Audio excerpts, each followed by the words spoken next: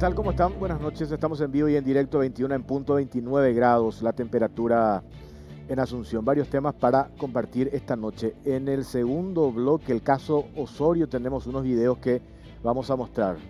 Dos videos que comprometen seriamente al diputado Juan Carlos Osorio. De hecho, ya escuchábamos recién en el noticiero, hay un consenso de la clase política de los dos sectores, movimientos internos dentro del Partido Colorado y de la oposición.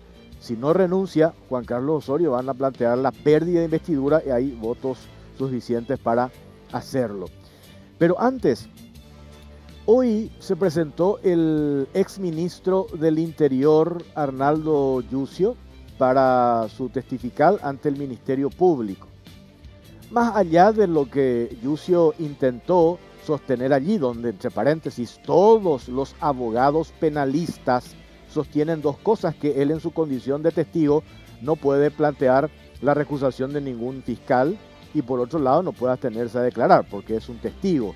Todos, reitero, abogados penalistas coinciden en esto y sorprende esas declaraciones, esas afirmaciones o esas pretensiones del exministro del Interior, Arnaldo Yucio, quien se lo dio muy nervioso, por cierto, cuando algunos colegas le preguntaron sus vínculos con Vinicius, Marcos Vinicius Espíndola, que hasta ahora, por cierto, Arnaldo Yucio no puede responder e incluso se fue de boca, hizo referencia a que no le van a encontrar vínculos a él con el crimen organizado, con el narcotráfico. Sin embargo, esto que estamos viendo ahora en imágenes, esto lo subió el empresario Ignacio Pidal, después nosotros también estábamos observando, hicimos la verificación y efectivamente esto es así.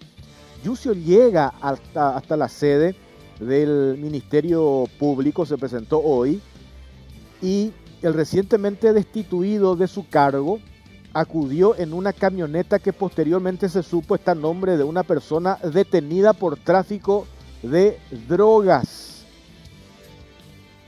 Eh, estamos hablando de un vehículo que estamos viendo ahora en imágenes que pertenece a quién. Está el nombre de, a quién pertenecía este vehículo.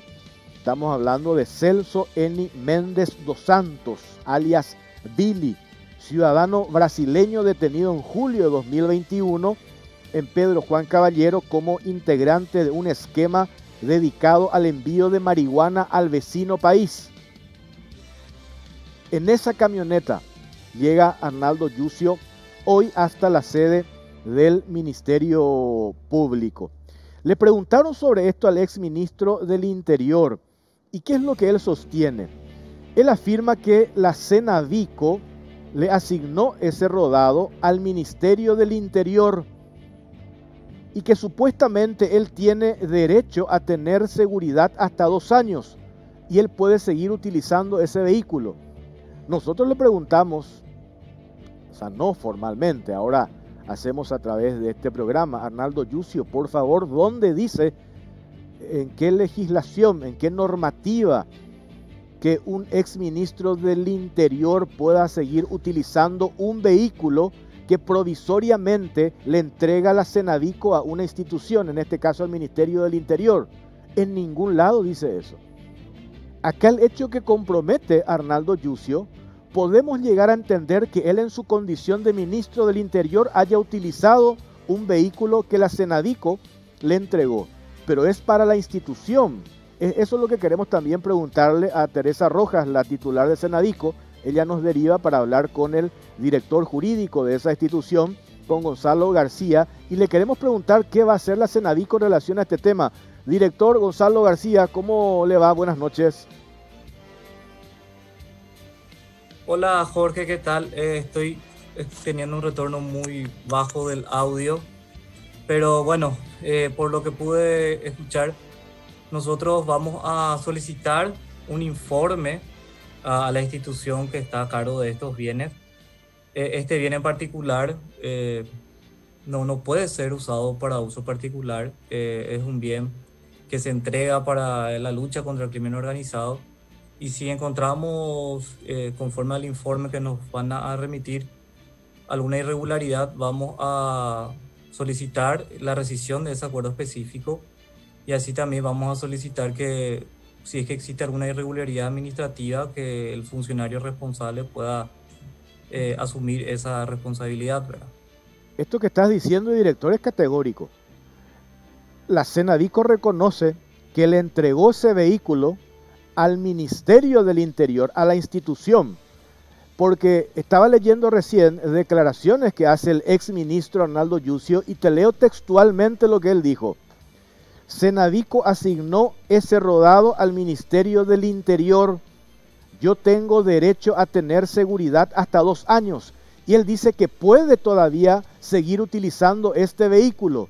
Lo que nosotros queremos saber, ¿qué normativa invoca Arnaldo Yucio para seguir utilizando este vehículo? Ustedes dicen que no existe ninguna razón para que un ex ministro del Interior siga utilizando un vehículo que le asigna Senadico a esa institución, en este caso al Ministerio del Interior. ¿Es así, Gonzalo?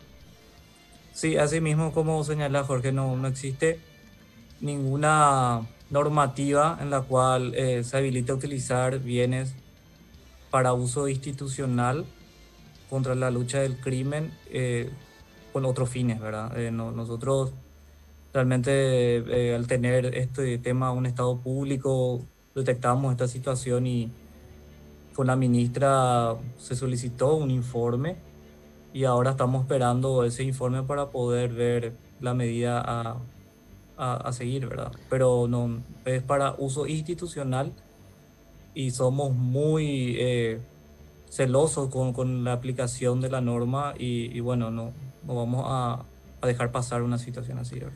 Entiendo yo esto que decís, Gonzalo, son muy celosos, dicen ustedes, pero ¿cómo, este, ¿cómo se les puede escapar una situación como esta? El domingo estábamos en el canal y hablábamos de que hay toda una expectativa, estamos hablando de una institución nueva, que es la Senadico, pero cuando esto se descubre a partir de, de que un empresario a través de redes sociales se percata del vehículo, registra, nota, toma nota del de la matrícula y ahí se encuentra que este vehículo que estamos viendo ahora en imágenes pertenecía a esta persona vinculada al narcotráfico.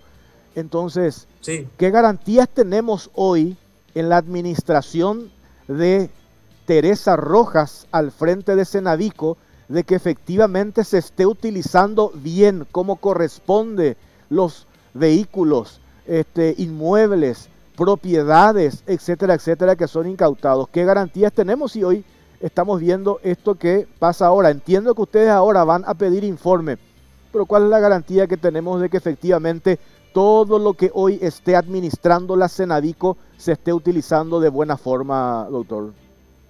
Sí, sí, te explico, Jorge.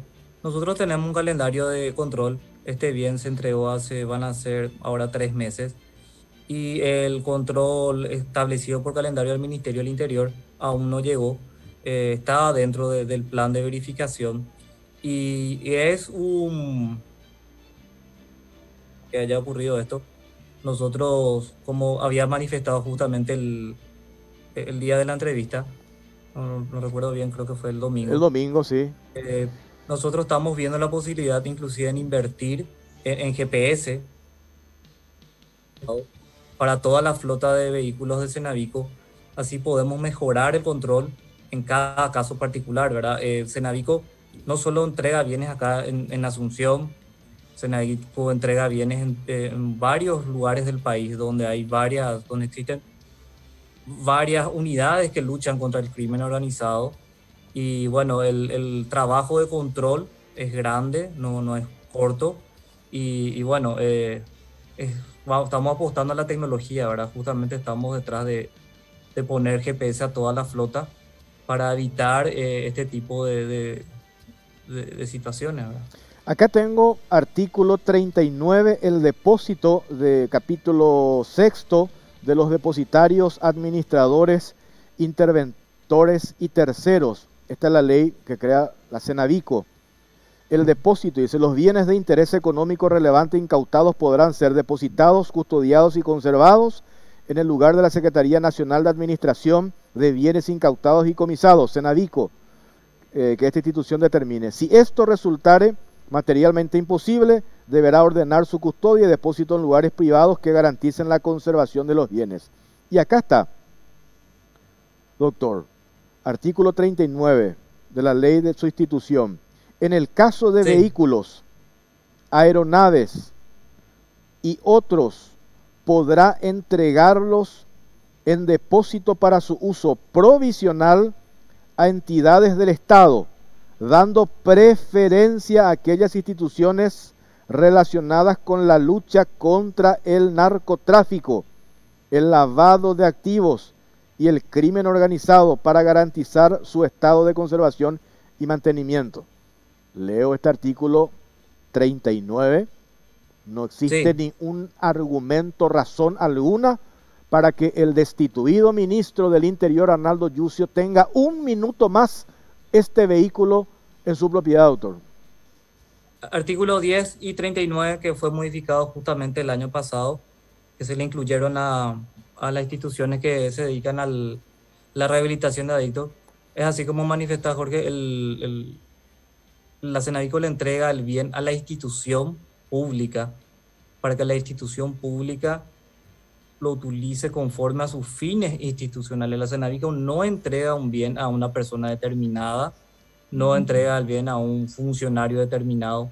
La Senavico entrega a una institución pública para que la institución pública tenga ese recurso para poder cumplir con su fin, ¿verdad? El fin, uno de los fines de la Senavico es fortalecer a toda la Senat, como le entrega al Ministerio Público, como le entrega a la Policía Nacional, la, idea es que estos recursos incautados del crimen organizado puedan servir en la lucha contra el crimen organizado. E, es, el fin, ¿verdad? Y entiendo, bueno, entiendo, doctor. Y hay alguna, digo, una, cuando ustedes ahora van a pedir informes, dice, yo entiendo, por una cuestión formal, van a pedir informes, pero está la evidencia. Hoy este señor, Arnaldo Yucio, ya no es ministro del Interior, ahí está el registro, las imágenes, sigue utilizando un vehículo que no le pertenece, que no es de su propiedad, que es, está en la administración de Senadico en una situación provisoria al Ministerio del Interior. ¿Hay alguna sanción para esto simplemente le llaman al exfuncionario, eh, ven un poco y devolver el vehículo que estás utilizando de manera irregular? ¿Hay algún tipo de sanción o simplemente se pide que devuelva el vehículo que está utilizando? Nosotros vamos a pedir punto uno que, el, que el vehículo sea restituido y punto dos vamos a solicitar a la institución que, que fue la que estaba administrando que, que vea eh, la aplicación de alguna sanción administrativa a los funcionarios públicos que permitieron alguna situación irregular.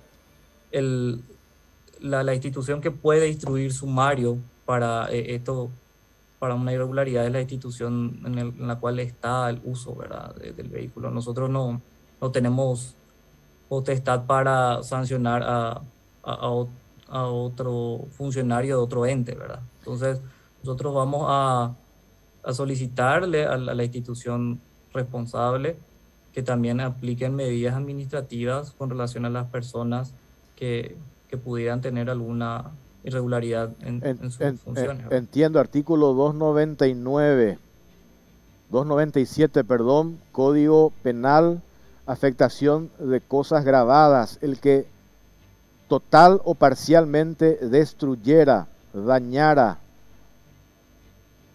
inutilizara o de alguna manera sustrajera del poder del depositario una cosa secuestrada, embargada o incautada por una autoridad será castigado con pena privativa de libertad de hasta un año o con multa, dice doctor.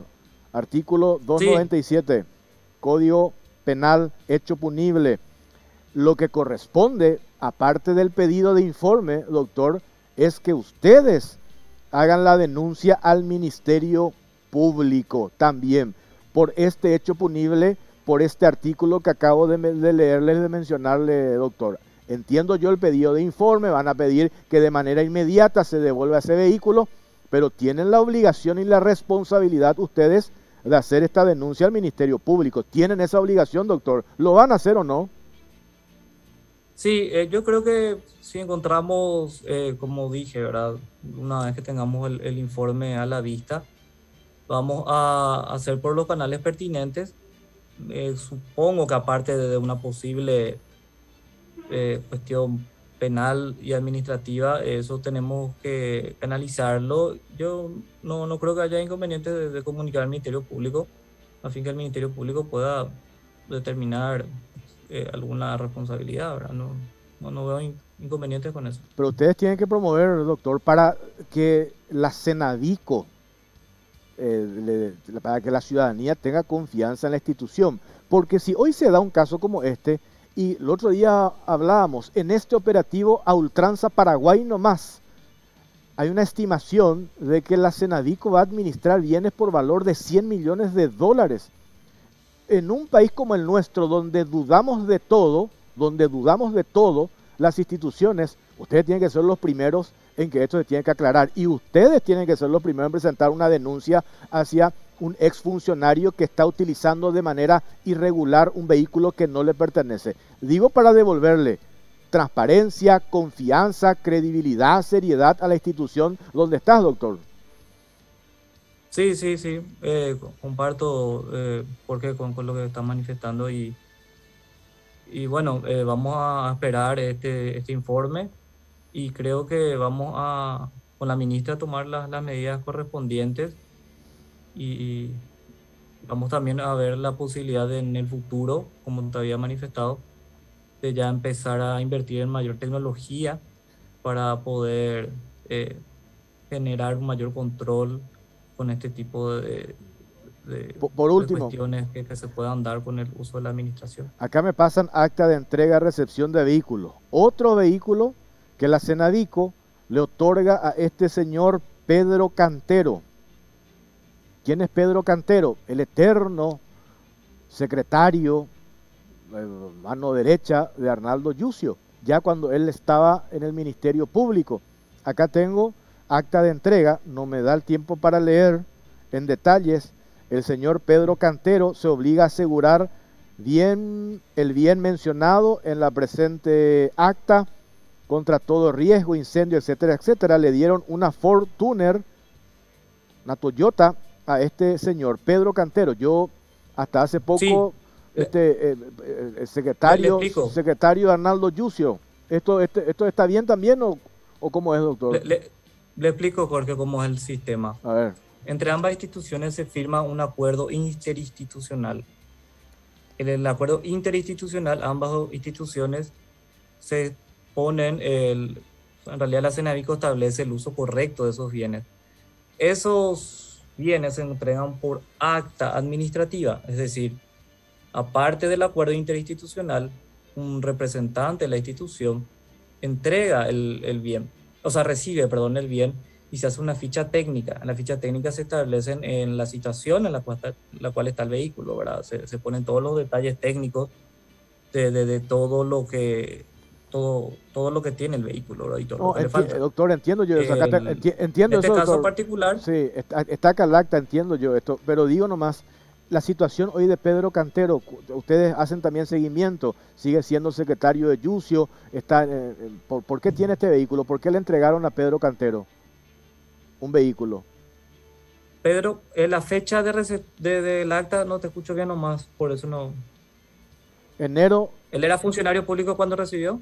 Enero del 2022.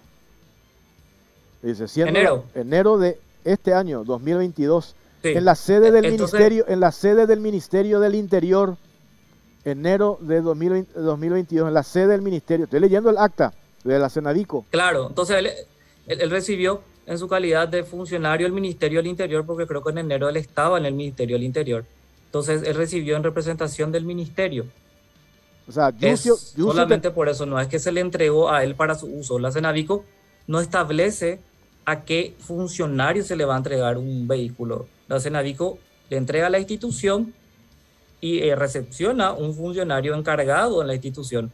Después la institución responsable es la que le da el destino conforme a su necesidad. Es decir, nosotros le entregamos, por dar un ejemplo, 10 vehículos a, la Policía Nacional, recibe un funcionario de la Policía Nacional e internamente el comandante le destina ese vehículo de acuerdo al, al, al fin que le van a dar, ¿verdad? No es que ese navío se va y le entrega el vehículo a una determinada persona y esa persona va a usar. No, no esto, es así. Esto también hay que investigar entonces, doctor, porque el secretario de Yucio, su brazo derecho, yo supongo que también lo sacan del Ministerio del Interior. Este, entonces habría que ver si pero este señor ese vehículo, Claro. Claro, ese vehículo no significa que tiene él en su casa. Ah, ese vehículo probablemente esté en el ministerio porque él es en ese momento actuó como funcionario del ministerio y recibió como funcionario del ministerio para que el encargado de transporte, me imagino, le dé el... Ya. Bueno, vamos a seguir, vamos a seguir revisando esto. Gracias, doctor, por tu tiempo, muy amable. a las órdenes, doctor. Gracias, gracias, gracias. Este, el doctor eh, Gonzalo García, director jurídico de la Cenavico. Doctor, me dijo, no, yo no soy doctor. Eh, a Yusio, por lo visto, le encanta usar vehículos de narcos. Arnaldo Yusio. Qué increíble, ¿verdad? Este, no hay manera, porque acá me pasan lo que declaró Arnaldo Yusio. Le preguntaron hoy a él y él mencionó, voy a repetir porque de vuelta otra mentira del ex ministro del Interior. Textualmente, Senavico asignó ese rodado al Ministerio del Interior. Yo tengo derecho a tener seguridad hasta dos años. Es decir, que él puede seguir utilizando. ¿Dónde dice eso Arnaldo Yucio, por Dios? ¿Dónde dice eso? Clarísimo lo que dice el director jurídico de la Senavico. Se le entregó ese vehículo al Ministerio del Interior. Yucio tuvo que haber entregado ese vehículo cuando le echaron del Ministerio del Interior por sus vínculos con un referente del narcotráfico. Sin embargo, él se fue hoy al Ministerio Público a su audiencia testifical llevando el vehículo que fue incautado hace un par de años de un narco en Pedro Juan Caballero. Y acá mencionábamos recién, yo supongo que la señora Teresa Rojas, la titular de la Senadico, aparte de pedir informes, ya sabemos la historia. Ahí está la fotografía. Yusio estaba usando el vehículo que no, no tenía por qué utilizarlo. Ya sabemos la historia.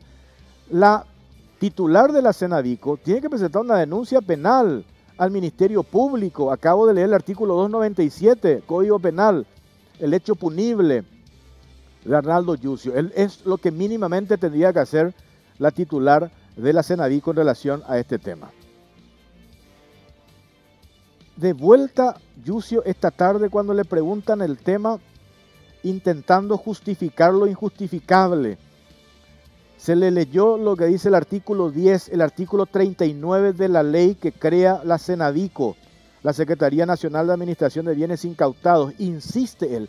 Por eso nosotros decíamos esta mañana en Radio 1, cuando saltó el caso de su vínculo con Marcus Vinicius Espíndola Marqués de Padua, cuando salta ese vínculo, él intentó plantear un relato mentiroso en varios medios de comunicación y después se desmorona el relato.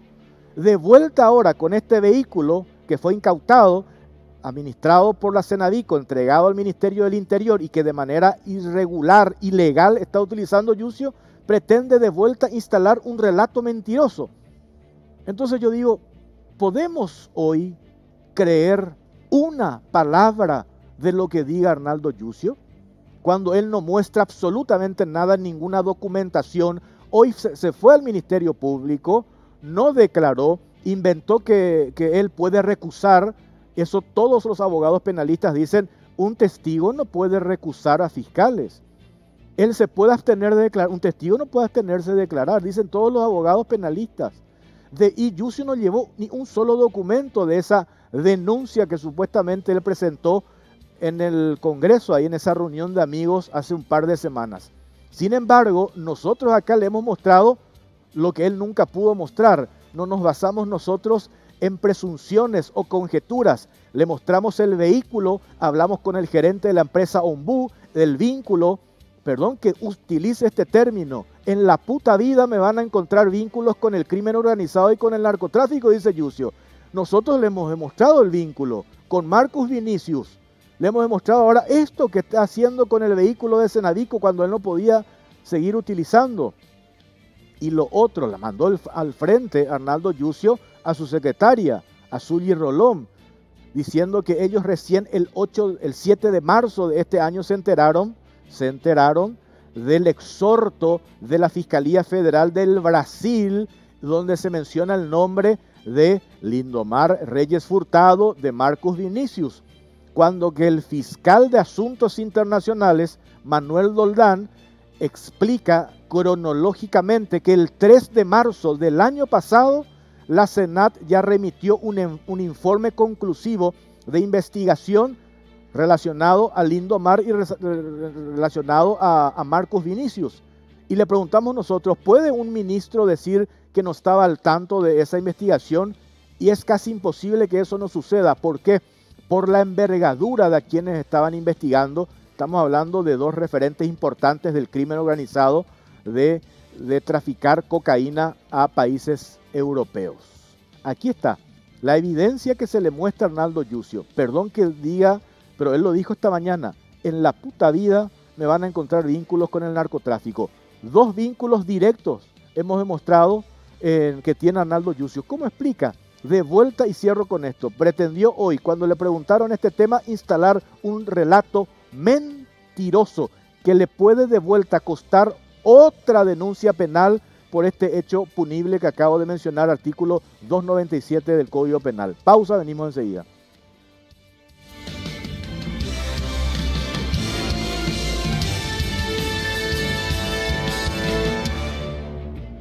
Lenovo ThinkPad, tu mejor aliado, todo lo que te proporciona la ThinkPad en tu día a día, gran rendimiento en tu día de trabajo y calidad y productividad siempre en tus manos. Tu ThinkPad se hace cargo de cualquier tarea y mantiene la temperatura óptima de forma inteligente mientras ejecutas varias aplicaciones. Ya sabes que podés confiar en estas laptops para todo aquello que la vida ponga en tu camino, ya sea la aridez ártica, la tormenta de arena del desierto y la gravedad cero o simples derrames y caídas en la oficina. Lenovo representa y distribuye Celex SA.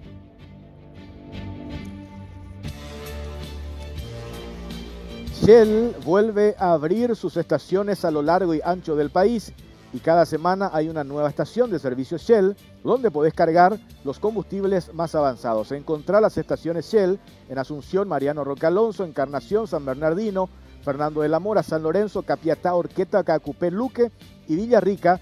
Pero no te preocupes porque Shell continúa trabajando para acercarte todo lo mejor del emblema líder en el mundo a tu ciudad. Así que para enterarte más podés seguir a arroba Shell Paraguay en sus redes sociales. Shell, volvimos, volvé. Acá me pasan, acá me pasan, este cortito nomás después vamos al siguiente tema. Decirle a Jorge Torres que Pedro Cantero es juez, él retiró esa camioneta de la Senadico. Me dicen acá que es juez, sí, era secretario de Yucio muchos años, pero acá en el acta dice que le entregaron el Ministerio del Interior a Pedro Cantero. Pero después vamos a seguir con esto. Delis Maidana, ¿qué tal? Vamos a hablar enseguida con él. El caso del diputado Osorio.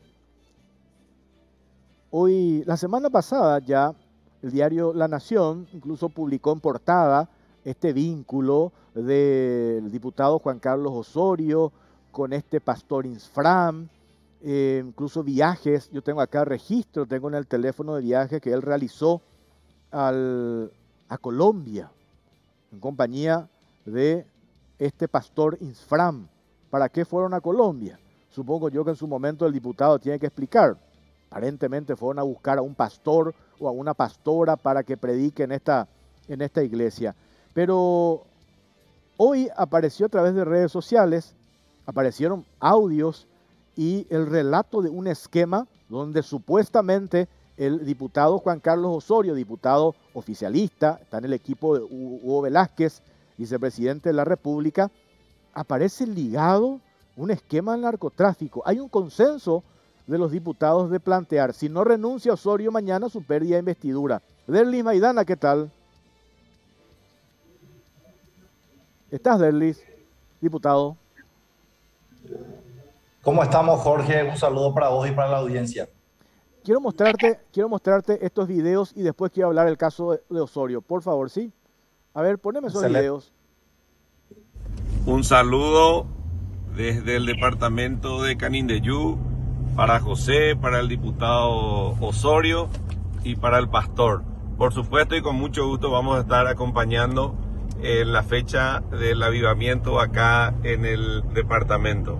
Les esperamos en el departamento y en Paraguay. Muchas gracias por las bendiciones.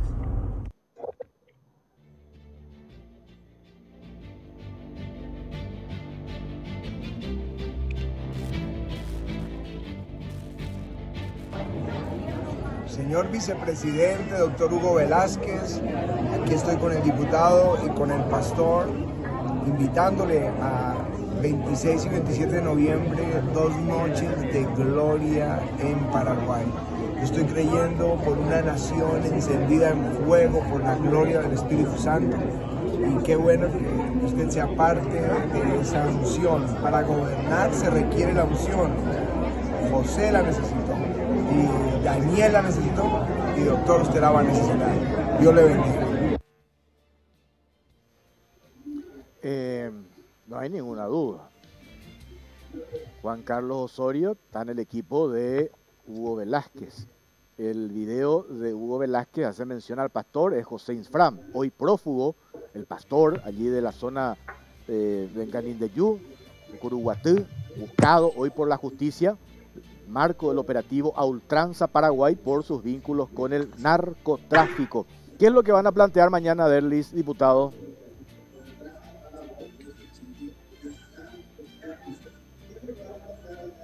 ¿Qué es lo que van a plantear mañana, diputado? No sé si me escucha, Jorge. Ahora te escucho perfectamente. Decime, pérdida de investidura van a plantear mañana. No, en primer lugar, este video del vicepresidente de la República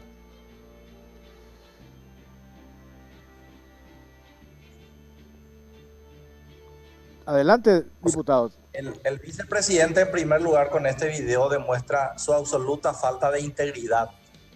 Que por un lado dice decir condenar a las mafias, que no se va a abrazar con la gente vinculada al crimen organizado, siendo él el principal responsable de poner un candidato a gobernador, de un candidato a senador, porque Osorio también ya era candidato a senador, directamente vinculado al crimen organizado y al narcotráfico.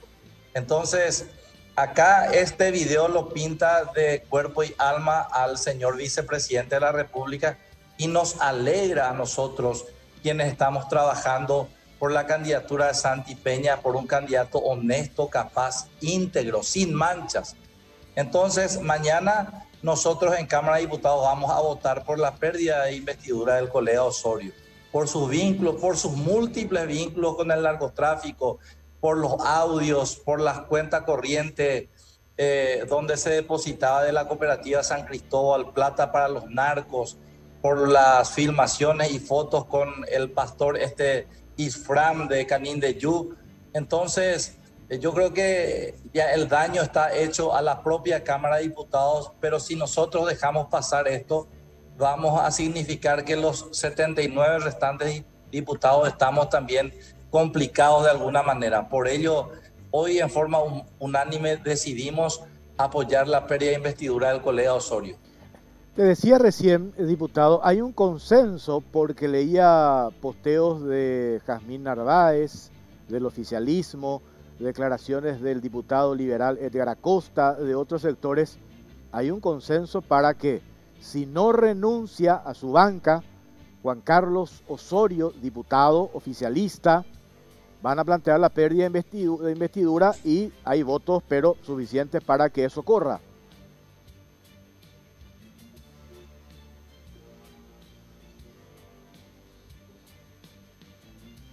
Así es.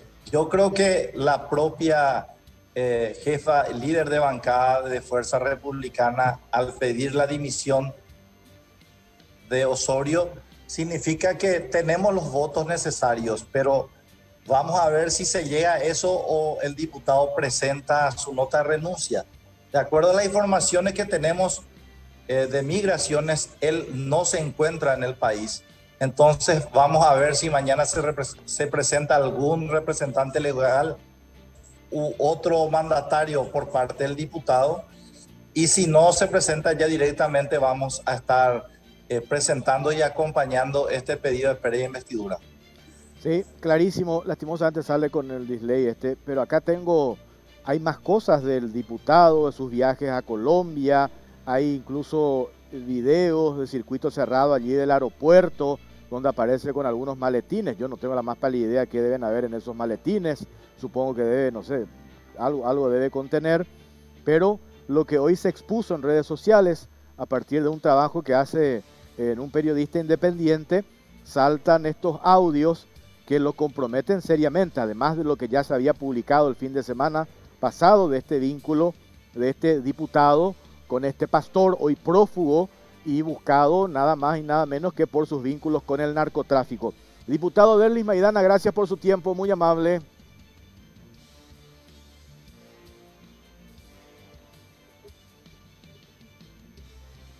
Gracias a vos, Jorge, y un saludo a la audiencia.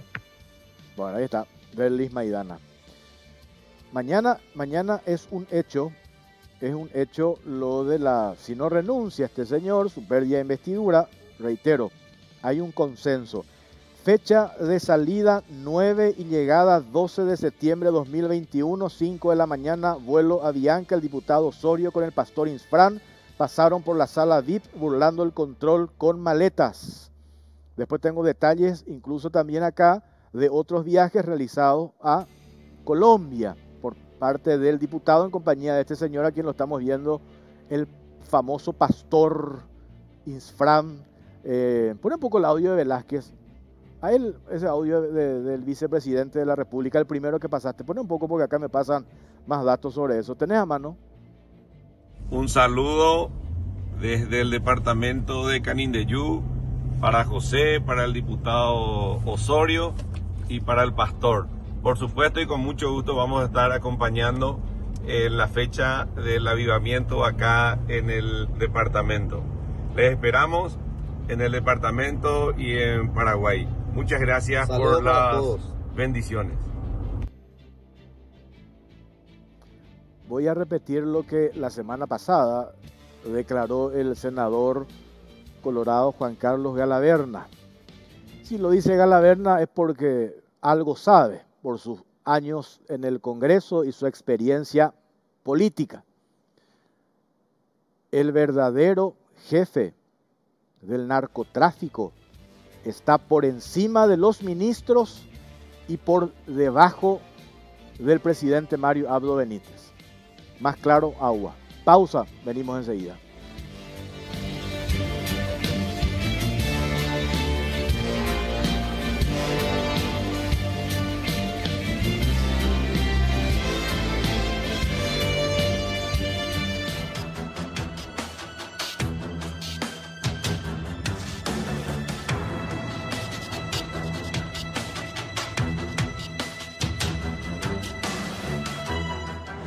Caídos en el gobierno Abdo por escandalosos casos de corrupción, acuerdos entreguistas y vínculos con el narcotráfico. Crisis en el gabinete por vínculos de ministros con narcos.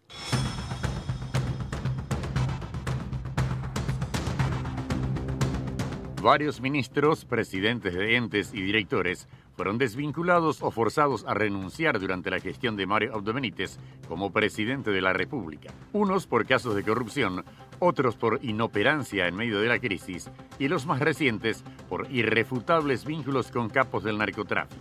Los vínculos con capos del narcotráfico y del lavado fueron contundentes y generan más crisis en el gabinete presidencial en la última semana. 48 horas de turbulencia sacudieron al Palacio de López dejaron fuera de la embarcación a los secretarios de Estado de Mario Abdo Benítez, en ambos casos por nexos con peces gordos del crimen organizado. Los casos de corrupción, nexos con el narcotráfico y completa inoperancia en el cargo representan la caída de los entonces poderosos que integraban el primer anillo del Poder Ejecutivo. Marcadas por hechos irregulares y gracias a la atenta presión ciudadana, son muchas las figuras que hoy ya no integran el gobierno de Mario Abdo Benítez. En este material hacemos un recuento con la cronología de los grandes caídos de esta administración. Julio de 2019. Cuando llegaba a su primer año de gobierno y estando en la cuerda floja, el presidente de la República, Mario Abdo Benítez, se vio forzado a hacer renunciar al canciller Luis Castiglioni, actual ministro de Industria, al titular de la ANDE, Alcides Jiménez, al embajador paraguayo en Brasil, Hugo Zaguere Caballero, y al director paraguayo de Itaipú, José Alderete, tras el escándalo por la firma del acuerdo secreto con el Brasil sobre la compra de energía de Itaipú. Otro que tuvo que dar un paso al costado fue María Epifania González de la CEPRELAT, a raíz de la participación de José Lo Rodríguez, emisario del vicepresidente Hugo Velázquez, en el acuerdo sobre la binacional. Septiembre de 2019. Meses después, se dio el relevo de Denis Lichi del Ministerio de Agricultura tras poco más de un año de gestión que estuvo enmarcada por las protestas campesinas. El exministro dejó su cargo en ese entonces al senador del Partido Colorado, Rodolfo Friedman. En ese mismo mes, Marito aceptó la renuncia del entonces ministro de Justicia, Julio Javier Ríos, y dispuso el relevo del comandante de la Policía Nacional, comisario Walter Vázquez, tras la fuga de película del narcotraficante Jorge Teófilo Zamudio González, alias Zamura, quien fue rescatado por un grupo armado que asaltó el furgón penitenciario en que era trasladado. Octubre 2019. Al mes siguiente, Julio Ullón renunció al cargo de jefe de gabinete civil de la presidencia ante las diversas críticas hacia su gestión, siendo la última la bochornosa visita del falso representante de Lamborghini en Latinoamérica al mandatario. Lo suplió Juan Ernesto Villamayor, exministro del Interior. Así también, Horacio Torres presentó su renuncia al cargo de presidente del Instituto Nacional de Desarrollo Rural y de la Tierra INDER luego de ser implicado en supuestos casos de coima en la institución azúcar. Abril de 2020.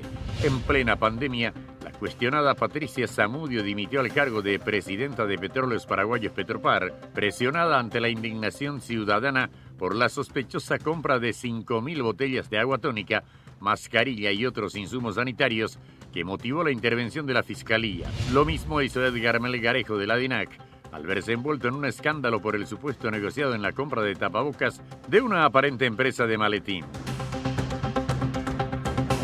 Agosto de 2020, Rodolfo Friedman renunció como ministro de Agricultura y Ganadería y volvió a ocupar su banca en el Senado tras darse a conocer la imputación del Ministerio Público por sus vínculos con la empresa que proveía almuerzo escolar durante su gestión como gobernador del Guairá. Ese mes, Luis Villordo terminó saliendo de la ANDE ante las denuncias por escandalosas sobrefacturaciones a los usuarios durante la pandemia debido a que la institución no realizó las lecturas de los medidores y solo estimó los montos. Octubre de 2020, el sumamente cuestionado Danny Durán renunció como titular del Ministerio de Urbanismo, Vivienda y Hábitat NUB luego del polémico chat que se hizo público y en el que pedía escrachar a diputados que iban a tratar la modificación de la ley de Fonavis. Ese mismo mes se dio la primera destitución del gobierno de Mario Abdo. El rajado fue Mario Vega del INDER, imputado por lesión de confianza, cohecho pasivo y cobro indebido de honorarios, luego de una investigación de la Fiscalía por denuncia de coimas por 200 mil dólares para trámites de títulos. Diciembre de 2020. Sergio Cosia Nogués dejó el cargo de Procurador General de la República al quedar acorralado por el acuerdo entreguista entre Petropar y la firma Texas Oil que implicaba el pago de 7 millones de dólares a favor de la empresa argentina. El escándalo involucró además al presidente de Petropar, Denis Litchi, pero sin embargo, este logró zafar y se mantiene en el cargo. Febrero de 2021. Alejandro Peralta Bierzi fue también removido del Ministerio de Tecnologías de la Información y Comunicación MITIC, luego de una serie de escándalos por direccionamientos y maniobras en licitaciones, además de proyectos atrasados como la agenda digital y contrataciones de funcionarios con sueldazos. En tanto que el entonces viceministro del MITIC, Miguel Martín, presentó renuncia al cargo. Marzo de 2021 Ese mes nuevamente el presidente Mario Abdo Benítez estuvo bajo presión al barajarse por segunda vez la posibilidad de su juicio político. Para calmar las aguas y tras la fuerte presión ciudadana que salió a las calles a reclamar, el entonces ministro de Salud Julio Mazzoleni presentó su renuncia al cargo a causa de la crisis sanitaria ante la falta de medicamentos e insumos en los hospitales. Le siguió el doctor Julio Rolón Vicioso, quien dejó el viceministerio de Salud. La ineficiente gestión en la negociación de vacunas provocó la muerte de unas 10.000 personas. Como el ánimo ciudadano no fue calmado con esas salidas, ese mismo mes Abdo destituyó al entonces ministro de Educación Eduardo Peta, a la ministra de la Mujer Nilda Romero y al jefe del gabinete civil Juan Ernesto Villamayor. Todos ellos sumamente criticados por su ineficiencia. Otro que dejó el cargo en marzo de 2021 fue Andrés Gubetich, expresidente del Instituto de Previsión Social, a consecuencia de los reclamos y denuncias que se dieron por la falta de insumos y los numerosos escándalos en los que estuvo involucrado en el ente previsional. Febrero de 2022. Los casos más recientes son los de Arnaldo Yucio, ex ministro del Interior, y Joaquín Roa de Emergencia Nacional, duramente cuestionado en su gestión por la falta de resultados en el combate a la inseguridad ciudadana. Finalmente, Yucio fue destituido por sus lazos con el presunto narcotraficante brasileño Marcus Vinicius Espíndola Marqués de Padua, detenido en Brasil en el marco de la Operación Tour. La ahora ex autoridad reconoció que utilizó para vacacionar en el Brasil una camioneta registrada a nombre de la empresa Ombú Sociedad Anónima, propiedad del supuesto narco, con quien además se lo vio en varias fotografías. Ante la salida de Yucio, se dieron algunas movidas en el gabinete de Abdo. Su asesor presidencial Federico González fue al Ministerio del Interior y Edgar Olmedo fue designado para justicia en sustitución de Cecilia Pérez, quien fue asignada como asesora en asuntos de seguridad del Poder Ejecutivo. Olmedo llegó a ocupar el cargo de titular del INDI en reemplazo de Ana María Alem, quien en el pasado se vio obligada a renunciar por pedido de los indígenas. El último polémico caso fue el de Roa, quien en menos de 24 horas de la salida de Yucio fue rajado por sus vínculos con el presunto narcotraficante Alberto Beto Couve, implicado en el mega operativo a ultranza PY.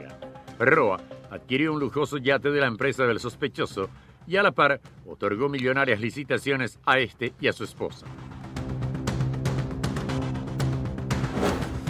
Los que siguen atornillados en sus cargos.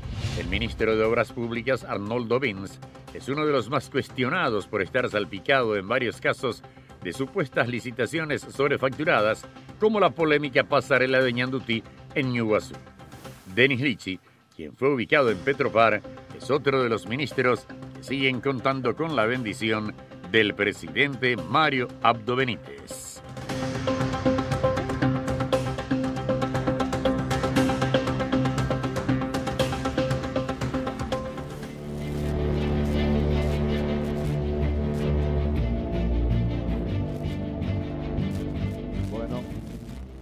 Que estoy viendo acá, me dicen que eh, podemos ver Cintia con algún comisario. La empleada del pastor prófugo José Insfran Fátima Rejala falleció hoy en Mariano Roque Alonso tras recibir un disparo en la cabeza, dice. Si podemos, esta es una publicación del diario La Nación en redes sociales, si podemos ver si, si hablamos con un comisario sobre este tema. Leandro Prieto está con nosotros, él es analista político. ¿Cómo estás, Leandro? ¿Qué tal, Jorge? ¿Cómo te va? Llegué acá del gimnasio, medité y vine tranquilito. Alberto, esto tengo la adrenalina en la punta de los dedos. al hacer esta cronología, 26, estamos hablando de 26 funcionarios cambiados entre ministros, directores, altos funcionarios en tres años y medio del gobierno de Mario Abdo Benítez. Y acá acaban de ver el informe. Todos vinculados a un hecho de corrupción, escándalos, estos dos últimos que salieron, imagínate, nada más y nada menos, con supuestos vínculos con el narcotráfico. ¿Qué nos dice esto, Leandro? Bueno, eh, en líneas generales, algo que debe preocuparnos a todos, que es el desmoronamiento de la República, entendiendo la República como el imperio de la ley y de las instituciones, ¿verdad? Por una parte. Por otra parte, eh, si es que tendríamos algún día, podemos tener el archivo de, tu programa cuando analizamos el primer mes y los primeros 100 días de gobierno, de este gobierno. Yo te había mencionado, aparte de haber traído una encuesta, te había mencionado que por lo visto la estrategia que iba a utilizar este gobierno era la de no hacer nada. O sea, no hacer nada no en términos de que son ineptos e inútiles y no, no hacen nada, sino en términos de usar como estrategia el no hacer nada. Y muchas veces el no hacer nada tiene varias connotaciones que pueden ser, en un, en un sentido pueden ser no tener un norte fijado, no saber cuál es el plan maestro de gobierno, hacia dónde van, ¿verdad? Otro puede ser este, exclusivamente no tener las fuerzas políticas, ¿verdad? Dentro de su nucleación como para poder sobrellevar a cabo lo que quiere hacer, eso suponiendo que sabe, o en este caso ya con, con tantas, y la tercera opción, entre las principales, ya sería una complicidad en todo lo que se está viendo, ¿verdad? Más de esas tres, más de esos tres factores nos pueden escapar a ese ámbito de la estrategia de no hacer nada. Porque, eh, disculpame, me tomo yo el atrevimiento porque el periodista que tiene que hacer la pregunta, pero te hago yo la pregunta, ¿en qué momento de todo este tiempo de gobierno, este gobierno comunicó algo diciendo, este es nuestro plan y acá nos vamos? Nunca. En alguna sola materia al menos. No hay, no hubo. Ni siquiera durante la pandemia hubo un, un ordenamiento lógico, transparente, como para saber cómo sobrellevar, ¿verdad? Paraguay es un país dentro de todo, con todo lo histórico que nos ha pasado, un país muy bendecido, pero no caemos fuerte porque tampoco apostamos a volar muy alto. Entonces siempre nuestros tropezones no nos lastiman demasiado, eso tanto en términos económicos, de inversión, en temas sociales. Pero sí lo peligroso, esta inseguridad que viene permeando el narcotráfico, eh, es la señal ya de que se está derrumbando el castillo de la República. Como te dije, entendiendo la República como el imperio de la ley y el imperio de las instituciones. Eso se debe muchas veces a, la falta de organismos de control que puedan mantenerla equilibrada. Porque ¿quién le controla a quién acá ahora? Nadie. Absoluto. un juez puede hacer lo que quiere, un fiscal puede hacer un ministro Ahí tiene el tema que mencionaste, un norte o un plan o una hoja de ruta, lo que pasó con Lucio en materia de seguridad, dependientemente de la connotación política. Vamos al hecho objetivo, como yo siempre digo. ¿Cómo se ha disparado los números en materia de inseguridad? ¿Vos escuchaste un plan para hacer frente a eso? Cero. absolutamente nada. Tema contrabando, Emilio Fuster. ¿Escuchaste algún plan ante el reclamo desesperado de los gremios, la UIP y compañía? Que el contrabando liquida las empresas, deja gente sin trabajo, etc. ¿Escuchaste un plan? Absolutamente nada. Entonces digo nomás si alguien ve, acá me escriben del, exterior, este, me piden copia de este informe. ¿Cómo nos ven con esto que acabamos de resumir? ¿Cómo nos ven desde afuera? Cuando desesperadamente nosotros estamos pidiendo inversionistas, queremos vender al Paraguay, seguridad jurídica no existe. Ahí tenemos el caso de una empresa francesa que le está por demandar al Estado paraguayo por el tema de identificación en los, documentos electrónicos, etcétera, etcétera, que hasta ahora no se define. Hay una promesa del nuevo ministro del Interior, Federico González, de, acelerar eso, hasta ahora no hay nada. Y ¿cómo recomponemos todo lo que nos llevó, por ejemplo, fortalecer nuestros, las instituciones vinculadas al sistema financiero? Hoy están erosionadas y contaminadas con el internismo político. Entonces, todo lo que hemos avanzado, con luces y sombras, tenemos mucho todavía, pero en lograr institucionalidad, hoy con este gobierno, ¿cómo se vino abajo? Se vino abajo, exactamente. Algo peor. No es que no va a haber inversiones, sino qué calidad, qué tipo de inversionistas van a venir acá. La otra vez discutía con un amigo eh, bueno, discutir es una forma de decir, debatíamos, yo le decía, para, a Paraguay lo están por convertir, si seguimos así, se va a convertir en la Cuba previa a la revolución de Fidel Castro, y no, con eso reivindico la revolución de Fidel Castro, pero eh, esa Cuba ya era una Cuba explotada, ¿verdad? Ya, sin, sin derechos para, para, los, para los autóctonos, para los cubanos. Eh, inclusive se podría hablar de la prostitución de nuestras hijas en un momento dado si sigue esta, si continúa este, este desenfreno ¿verdad?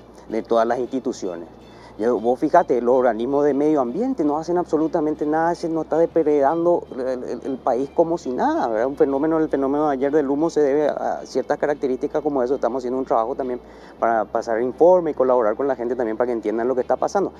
Em, entonces, todo está abierto, todas las puertas están abiertas y, y saliendo un poco de lo académico y de lo, y de lo políticamente correcto, nos estamos volviendo una nación de pilas y valles, porque plata nomás pensamos. Todo esto es por plata nomás. Y como te digo, desde el ejecutivo hasta abajo, hasta el último eslabón es así. Y hay complicidad, hay una complicidad criminal. Eh, cuando se derrumba un sistema, así mismo como vos dijiste, ¿cómo lo recompones? Igual un motor, un motor, comprar un, lindo auto, cero kilómetros, y si le toca el primer día, vos pensás que vas a tener un año de un motor lindo, cuando que si no toca tener cinco años de garantía. Eso es la república, eso es la democracia. La democracia es tan linda que es un sistema que tiene la característica de autocorregirse inclusive si es que funciona. Pero para eso tiene que haber una, atender esta parte, no es un juego de palabras, tiene que haber una república democrática y no una democracia republicana como la que tenemos. Porque los griegos ya nos avisaban hace 3.000, 2.000, 3.000, 4.000 años atrás, ellos ya, ya, ya, reflexionaban sobre esto, decían, le tenían un poco de miedo a la democracia. Es más, ellos no, no votaban, no, tenían elecciones, ellos tenían sorteos. O si no, un pequeño, unos, unos, cuantos, unos cuantos cargos eran electos por asamblea. Ellos decían por sorteo porque las elecciones decían las compran los oligarcas. Bueno, ellos, ¿qué hacían? Ellos te decían, bueno, la república debe ser equiparada con algo, y es la democracia. Exceso de república es tiranía. Exceso de democracia es anarquía. En Paraguay, creo que tanto nos focalizamos en democracia, en democracia, que tergiversamos, yo no es que estoy en contra de la democracia, tergiversamos el término de democracia, ¿verdad? Entonces, eh, y bueno, y todos ven como eso, como los derechos que ellos tienen. Por darte un ejemplo, hace poco un amigo se fue, estuvo en una ciudad de Estados Unidos y cruzó la calle por donde no tenía que cruzar, vino un policía y le multó. Creo que 500 dólares. Hace eso acá y que te venga un policía a multar. Está también, vamos a compartir con ella, Sofía Shade, ella es doctora en educación. ¿Qué tal, doctora? ¿Cómo le va? Buenas noches. Buenas noches a vos y a tu acompañante y también a todos los televidentes. Doctora, el tema educación que es tu, fuerte, tu especialidad. Varias veces hemos charlado y sé cuál es tu postura, crítica, mirando al futuro, siempre. Esto que pasa hoy, puntualmente voy al grano, porque he hablado con referentes de la comunidad educativa, cuando hoy tenemos un ministro del Interior que va a estar distraído, de, Educación, digo, perdón, se me quedé, me quedé con ministro del Interior, ministro de Educación, distraído en un proselitismo político cuando que tanto hemos trabajado para apuntar a la despartidización de la educación y hoy necesitamos un ministro de educación que esté concentrado, pero 24/7 a, ese, a esa actividad donde hay tantas cosas por hacer todavía, doctora. Totalmente. Eh, escuchaba lo que decía el señor Prieto, cómo se ha socavado las bases de nuestra república y definitivamente ese es uno de los grandes problemas. Eh, cuando hablamos de la educación como un eje de desarrollo, eh, fundamentalmente asumimos de que Paraguay viene con datos, con diagnósticos, que ya nos tiene, como siempre digo, muy peleados entre unos y otros, que hace rato sabemos que este modelo y este sistema educativo fracasó. Pero no podemos hablar de la nueva educación porque la misma está estructurada en tecnología, pero no una tecnología per se, y sí una tecnología como medio. Y eso entonces nos lleva a una mirada de la necesidad de la transformación digital del servicio público. Yo no puedo llevar a una transformación de la educación eh, que esté alejada de la gran transformación de Estado que necesitamos. Y en un tiempo donde los recursos van a ser ya no infinitos, o sea, nosotros tenemos una inversión en educación de que no llega al 4%, al 4 del, del PIB, y necesitamos básicamente 7, porque es lo mínimo de la región, y para que podamos invertir los 7 en este modelo de crecimiento tenemos que esperar 20 años. Entonces, ¿Qué ocurre? Estamos en un punto de inflexión a, tomar grandes decisiones. La transformación del Estado necesitamos que ocurra, porque los países del mundo apalancan esa transformación en lo digital. ¿Por qué fundamentalmente? Porque el flagelo de la corrupción hizo el que América Latina fundamentalmente sufra el embate de la pandemia en una forma tremenda. ¿Por qué? Porque la corrupción hizo que justamente las políticas de Estado, que, que son un derecho, que es la salud y la educación, eh, siempre estaban muy atados a criterios políticos partidarios. ¿Por qué enfatizo en las dos grandes políticas? Porque las mismas hasta hoy día no son competitivas en Paraguay. Entonces, ¿cómo podemos hablar de recuperación económica si esa reactivación económica no está estructurada en las nuevas habilidades que necesitan tener nuestros jóvenes, por ejemplo. Entonces, la política educativa de Estado, que en realidad tiene que ser el ascenso social, eso no existe en Paraguay, lastimosamente. Entonces, que un ministro entre, salga, que se, que se candidate, hasta para mí me parece ya algo que era lo que esperaba porque nuestro modelo de desarrollo Paraguay está es siempre estructurado en improvisaciones. No existe un plan nacional en este momento de transformación digital del Estado y asumiendo de que teníamos préstamos para la transformación del Estado. Entonces tenemos un servicio del siglo XIX, pero la, la población necesita de un servicio del siglo XXI. Repito, es un momento de inflexión para el país. Necesitamos apalancar nuestras transformaciones digitales. ¿Y por qué? Repito, por los recursos finitos que vamos a tener. Nuestra economía no va a crecer, la inversión extranjera directa va a ser sumamente reducida y veremos de qué calidad, como bien lo decía el señor Prieto. Entonces, ¿de dónde vamos a sacar los recursos si nuestros recursos humanos no pueden apalancar mucho menos a la deuda a, que, a, a cual le hemos llevado? Es momento de diseñar un Paraguay estructurado en tecnología. ¿Qué significa MITIC para Paraguay? Significa que puede ser una de las entidades gubernamental que asegure que conectividad, la conectividad que tenemos es deficiente, es apenas para comunicarnos, no para trabajar y mucho menos para generar conocimiento. La tecnología, la, la conectividad va a venir a romper brechas en Paraguay, porque la conectividad genera impacto positivo en la producción de bienes, servicios y obviamente de conocimiento. Pero ese es el Paraguay que debemos diseñar, planificar y ejecutarlo, pero ¿con qué herramienta vamos a reducir la corrupción?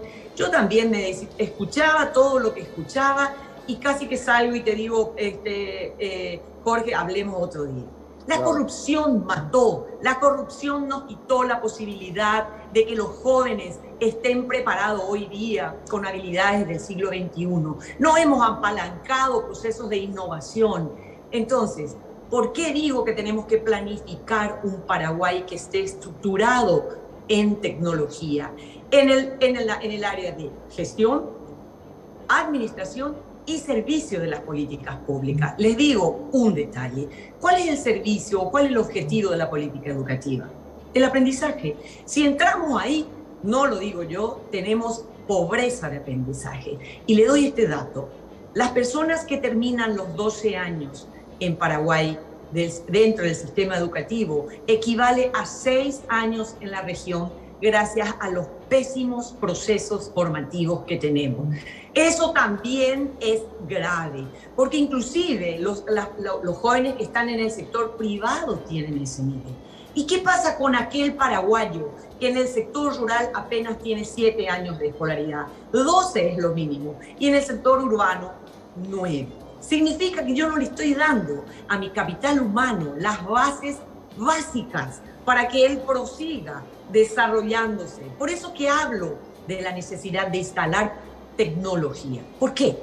Porque la tecnología va a permitirme reducir ese fracaso escolar absolutamente, porque voy a tener en tiempo real mis intervenciones en matemáticas, ciencias y comunicación, que es la brecha educativa voy a tener en tiempo real los niveles de deserción. Yo no puedo tener 220 mil jóvenes de 15 a 19 años fuera del sistema educativo.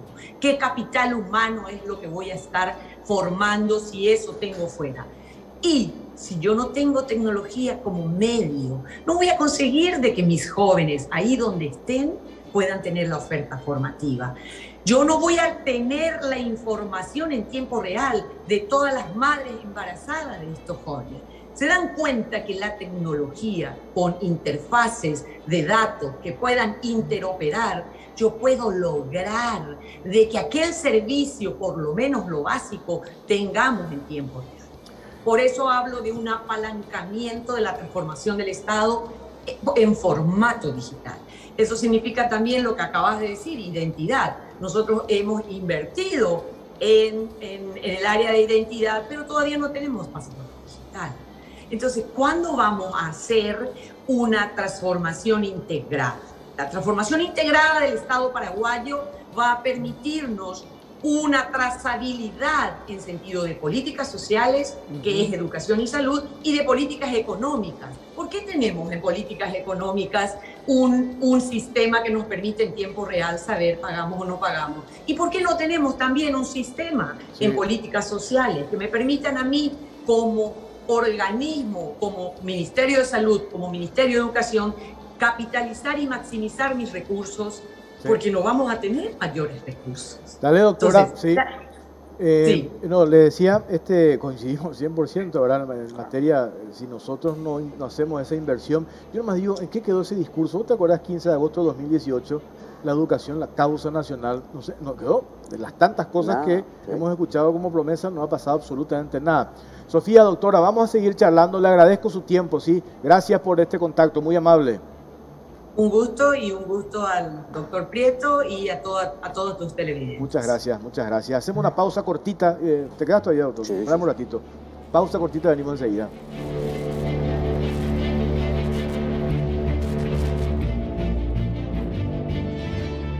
Lenovo ThinkPad, tu mejor aliado, todo lo que te proporciona la ThinkPad en tu día a día, gran rendimiento en tu día de trabajo y calidad, productividad siempre en tus manos. Tu ThinkPad se hace cargo de cualquier tarea y mantiene la temperatura óptima de forma inteligente mientras ejecutas varias aplicaciones. Ya sabes que puedes confiar en estas laptops para todo aquello que la vida ponga en tu camino, ya sea la aridez ártica, las tormentas de arena del desierto y la gravedad cero, o simples derrames y caídas en la oficina. Lenovo representa y distribuye Celex SA. Venía a Bristol y aprovecha una cuota de regalo en televisores. Sí, como escuchaste, te regalamos una cuota en cada televisor que compras. No esperes más. Esta promoción es hasta agotar stock. Escucha esta super oferta TV Samsung Smart Full HD de 43 pulgadas. Precio normal 18 cuotas de 362 mil guaraníes. Ahora solo 17 cuotas de 249 mil guaraníes. Bristol, la mejor casa de electrodomésticos del país. No tengo más tiempo, doctor Leandro Prieto. Eh, ¿Usted va a candidatar a algo? Y bueno, sí, es que hay que salvar la República. ¿Qué, quiere decir eso? Y, ¿Cómo se salva la República? ¿Cuál es su institución más renombrada de la antigua República? El Senado. Vos dijiste, yo nada. ¿eh? Ah, ¿Vas a ser candidato a senador? Vos dijiste. ¿Por qué sector? Y bueno, estamos viendo, estamos viendo. ¿Eso Colorado? Colorado. Republicano. Antes que Colorado, republicano. Yo tenía un amigo político que decía, este vos sos Colorado, paraguayo.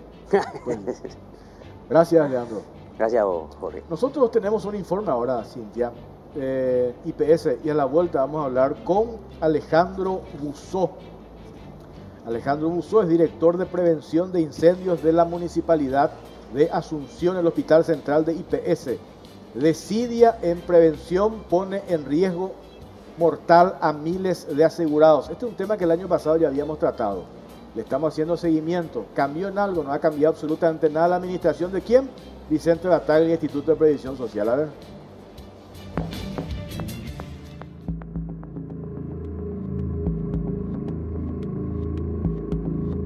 Hospital Central del IBS, Decidia en prevención pone en riesgo mortal a miles de asegurados.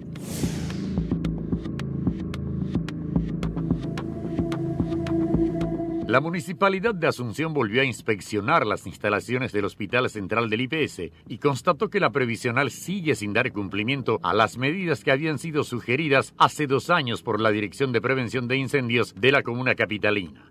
De esta manera, el instituto representa un riesgo mortal con el potencial de ser una tragedia similar a la del Icuabolaños. Una gravísima desidia y negligencia ocurre en el Instituto de Previsión Social, cuyas instalaciones en el Hospital Central y sector administrativo tienen una afluencia dinámica de aproximadamente 10.000 personas a diario. Ante esta importante aglomeración, se vuelve fundamental que la institución tenga todo lo necesario para reducir el riesgo de incendio y de propagación. Sin embargo, sus sistemas de detección y de evacuación, lejos están de ser óptimos. A inicios de febrero de este año, nuevamente los fiscalizadores de la Dirección de Prevención de Incendios de la Municipalidad de Asunción inspeccionaron las instalaciones de la previsional tras las graves irregularidades detectadas en el 2020 y cuyo informe evidenciaba falencias que podrían desembocar en situaciones de riesgo. En esta nueva inspección constataron de vuelta que el IPS sigue en iguales condiciones que hace dos años, siendo que cuando eso se planteó un plazo no mayor al periodo del 2020 para la adecuación de la infraestructura. En todo este tiempo, nada se hizo. De acuerdo con una nota entregada por el director de Prevención contra Incendios, Alejandro Buzo,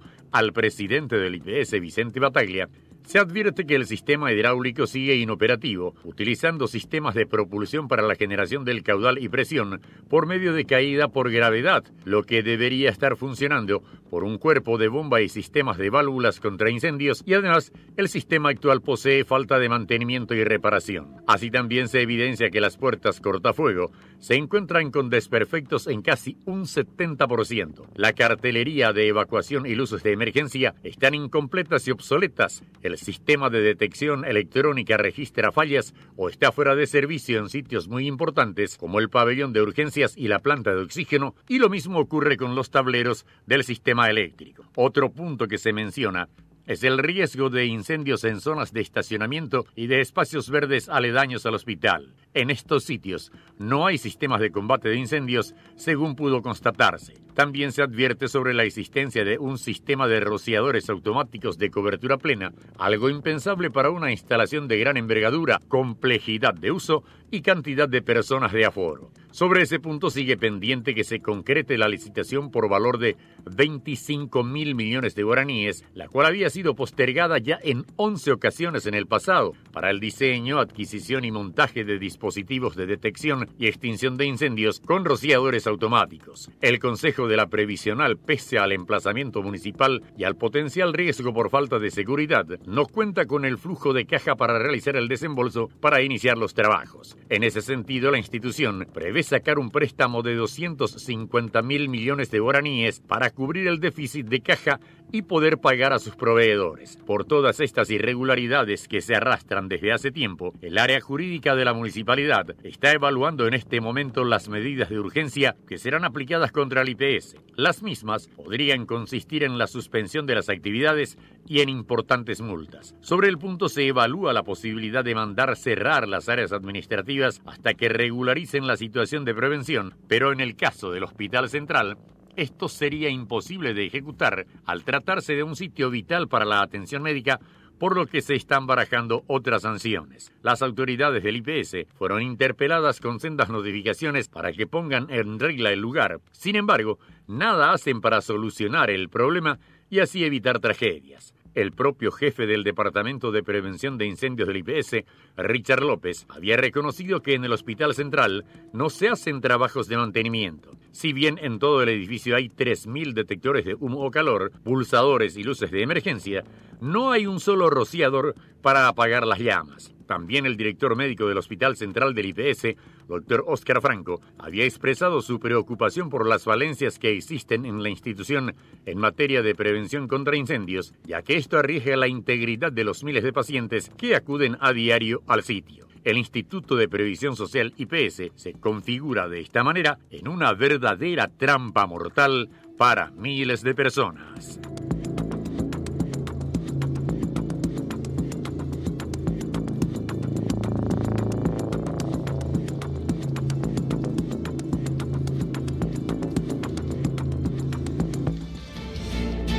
Alejandro Busó, director de prevención de incendios de la Municipalidad de Asunción. ¿Qué tal Alejandro? ¿Cómo estás? Jorge, ¿cómo estás? Buenas noches y un saludo para la audiencia también. ¿Qué hacemos con IPS tema incendios? Prevención de incendios. Y realmente viendo la complejidad y el uso que tiene esa instalación, hablando del Hospital Central, esto tendría que haber sido ya una anécdota, tendría que haberse cambiado la estructura y los sistemas y hoy tendríamos que estar hablando de un edificio que se, por lo menos gradualmente se acondicionó. Sin embargo, no es así. ¿Cuándo fue que presentamos esto? ¿El año pasado? Hace... No, el año 2000, hace dos años. Eh, 2020. 2020. 2020. Hace, dos años. Así es. Cuando se empezaba y de hecho tuvimos un acercamiento entendiendo que los procesos en el Estado son lentos. Pero sin embargo en el año 2021, cuando fuimos a hacer una revisión de ese, de ese calendario que se había hablado, nos encontramos con que tampoco se había, se había hecho absolutamente nada. Pasó todo el 2021 y nos encontramos a febrero de 2022 sin que los edificios que tienen un, circuito mucho más importante de tránsito, sobre todo de circulación dinámica, como son el Hospital Central, el edificio administrativo de IPS, no tienen las condiciones mínimas para garantizar la seguridad de la gente que ingresa diariamente allí. Toco madera. Quiero que pase absolutamente, madera. absolutamente nada. Pero mira que ustedes advirtieron hace dos años, hicieron lo que tenían que hacer entonces no podemos cerrar el hospital. No, el hospital no, y sobre todo entendiendo que a diferencia de otro tipo de instalaciones administrativas, la gente que está en el hospital no puede ser evacuada. Es decir, los hospitales tienen esa dinámica que es atípica con relación a otro tipo de infraestructuras que tienen que ser autocontenidos frente al riesgo de incendio porque la gente que está internada debe mantenerse ahí con un ambiente mucho más seguro. Sin embargo, al no tener los sistemas básicos de seguridad, eso no se puede garantizar. La gente que hoy está internada no puede tener la garantía de que en el caso de un principio de incendio o un incendio en esas zonas pueda salir con vida del hospital. Yo digo, que estamos esperando que suceda una desgracia, Alejandro. yo, le pregunto a Vicente Bataglia, el, director, el presidente de IPS, ¿qué estamos esperando? Que ya hubo principio de incendio, ¿te acordás? En años anteriores. Uno, nosotros fuimos a recorrer las instalaciones y vemos la precariedad los funcionarios dicen, pues esto es, ellos se van porque tienen que, tienen que trabajar allí. El depósito de IPS que está frente al hospital, de hecho tú hace unos meses un incendio, un principio de incendio, fuimos, nos constituimos porque hubo una denuncia que recibimos producto de eso y realmente viendo que todo el stock de, de, medicamentos, de insumos se encuentran depositados ahí, es un terreno bastante amplio, tampoco cuenta con las medidas básicas. Entonces estamos hablando de que quizás, lo digo hasta diplomáticamente, las prioridades no son las adecuadas. Porque si hablamos de seguridad humana en un hospital y no tenés los elementos mínimos de prevención de incendios y sistemas de evacuación que estén acondicionados para que la gente pueda salir con vida, bueno, creo que las prioridades no están siendo las correctas en este caso. es increíble, a mí me dicen que ya se hizo una licitación, me dicen acá, que ya creo que se adjudicó a una empresa eh, y no hay plata. El año pasado hablábamos con justamente funcionarios de IPS, nos convocaron a una reunión ya a mediados del año nuevamente renovando el compromiso que lastimosamente no, no tuvo acciones con, con, relación a esto, en donde nos decía que ya existía inclusive, el, tenían el dinero, tenían el trabajo, la licitación, los pliegos y que simplemente faltaba ejecutar lo que ya estaba establecido. Pasó todo un año nuevamente, el edificio sigue en la misma, en la misma condición de inseguridad, se suman otros edificios a cargo de IPS, lo cual nos hace ver que las prioridades en cuanto a materia de prevención dentro de las instalaciones para mantener seguro a los asegurados, a, los jubilados y el resto de los ciudadanos que ingresan y profesionales de la salud en el caso del hospital, vuelvo a decirlo, no es una prioridad. ¿Qué puede hacer la municipalidad? Y hoy la municipalidad, como te decía antes de entrar, pareciera eh, hasta atípico. Sale esto producto de que la municipalidad está haciendo su trabajo. Claro. Eh, y estamos analizando las medidas. Justamente hemos solicitado medidas de urgencia para dos instalaciones puntuales. Se están haciendo notificaciones en otras instalaciones de IPS, al igual que otras también del Estado Central. Pero puntualmente con relación a IPS llegamos a la solicitud al área jurídica de medidas de urgencia entendiendo la gravedad de esto y el tiempo en el que ha transcurrido un compromiso con dos presidentes, porque hablamos de un presidente saliente que generó este primer compromiso, el entrante, el mismo, el mismo resultado, sin ningún tipo de acción puntual para mejorar la seguridad de esta edificación y por ende la calidad y seguridad de la vida de la gente. Yo decía el otro día en la radio, hay un desprecio por parte de los actuales administradores del IPS hacia, hacia el asegurado, hacia la gente, en materia de falta de medicamentos, ahí en Ingavi todo el descontrol que hubo este, hasta hace poco nomás. Y acá tenés esto que estamos viendo ahora en imágenes. Miren las, las condiciones en que está hoy el Hospital Central del Instituto de Previsión Social. ¿Cuántas personas entran por día acá, Ale? Y tenemos un tránsito dinámico de aproximadamente 10.000 personas. 10.000 personas por día. Y hoy, se, hoy tenés el riesgo de que pueda pasar cualquier... No, hay un sistema de prevención de incendios. Hay personal de prevención de incendios que no tienen la capacidad de respuesta porque la propia estructura no está acondicionada. No tienen rociadores, no están operativos, sus sistemas de detección no tienen cobertura completa. Las puertas tendrían que recibir un mantenimiento ya desde el año 2020, no han recibido el 2022 ese mantenimiento. Entonces estamos hablando de un edificio prácticamente abandonado en materia de seguridad y prevención de incendios. La multa hablábamos en el informe, ¿verdad? Este, ¿Qué le puede afectar una multa hoy al IPS? Y yo diría que más que pagar una multa tendrían que invertir ese dinero en mejorar las condiciones, porque es hasta eh, absurdo pensar en que voy a pagar una multa, que puede ser que tenga el capital en vez de invertir justamente lo necesario y no caer en ese tipo de situaciones. Pero el compromiso hace un año dijiste. Que Dos, de hecho. Claro, no, pero te dijeron el compromiso. Tenemos los pliegos, está la licitación, está la plata, ya está. Ahora me dicen, ya se hizo la licitación, ya se tiene la empresa que tiene que proveer, que instalar todo esto, pero no lo hacen porque no hay plata, no le dan el desembolso o el anticipo, no sé, creo que el 30% que se da para estas cosas, y le argumentan, ya está el contrato firmado todo, pero no hay plata, le dicen, no hay plata. Y entonces digo, ¿qué priorizamos entonces en el IPS? Es tal cual, es decir, si vuelvo a recalcar eso, Jorge, la, seguridad humana, el bien mayor protegido, hasta el bien jurídico eh, más protegido es la vida. Entonces, Hablamos de un nosocomio, un hospital de referencia, de hecho, un hospital donde más de uno ha tenido familiares que han ingresado a lo largo del tiempo, yo lo digo también por unas experiencias personales. Entonces, eh, no es un hospital cualquiera, donde hay poca gente, igual sería inconcebible, según la normativa vigente, la 468 del año 2014, la norma de prevención de incendios, obliga a que los hospitales tengan como mínimo sistemas de rociadores automáticos, por el tipo de uso que tienen. Y este hospital es gigante tiene cierto tipo de riesgos también asociados que se han trabajado, se han notificado, se le ha eh, hecho un acompañamiento al personal de prevención de incendios de IPS. No es que solamente hemos hecho la notificación, sin embargo pareciera que no existe la voluntad concreta de que esto se ejecute y se, se lleve a la práctica. Los actuales administradores del IPS, me dicen también hay complicidad de algunos consejeros, están allí en la coima detrás de algunas licitaciones. Me dicen que están en eso. No, yo me hago responsable de lo que digo. Ustedes hacen su parte, ¿verdad? ¿Qué más puede hacer la municipalidad? De lo que ya vinieron haciendo desde hace dos años, desde el 2020. Y la municipalidad tiene una suerte de límite administrativo con relación a esto. Lastimosamente nosotros no somos eh, policías, en algunos casos lo dije, lo dije medio en broma, medio en serio, nos gustaría poder tener esa fuerza coercitiva en el ámbito de prevención, no la tenemos.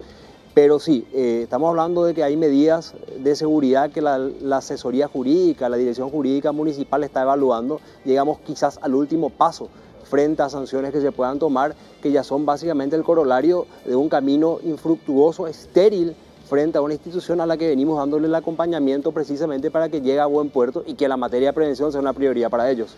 Cuando ponemos como título, desidia pone en riesgo mortal a miles de asegurados, ¿alguien se escandaliza con esto? Y, parecía que no.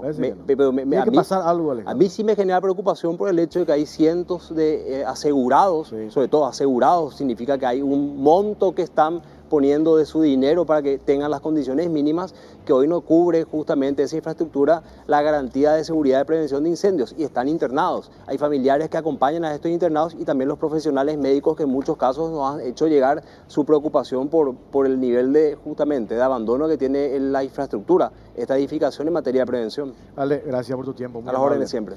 Mañana Radio 1730 hacemos un repaso y hay cosas nuevas que vamos a hablar sobre lo que compartimos esta noche acá en la Caja Negra. Gracias por acompañarnos. No se muevan de ni canal, ya viene Gustavo Recalde. Buenas noches.